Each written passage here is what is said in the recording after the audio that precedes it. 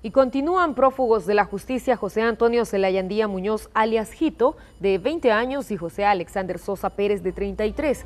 Ambos pandilleros se fugaron la noche del sábado de las Bartolinas del puesto policial de Pasaquina en La Unión. El director de la PNC habló sobre el tema. Dice que hay dos elementos de la PNC detenidos por este caso, acusados de evasión culposa. Serán las investigaciones las que determinen si fue descuido o hubo participación de los agentes.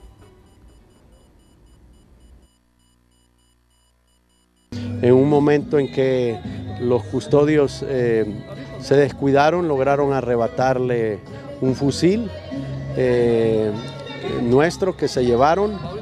Eh, a la hora de saltarse perdieron el cargador y, este, se llevaron el, el puro fusil. Estamos tratando de indagar para recuperarlo lo antes posible.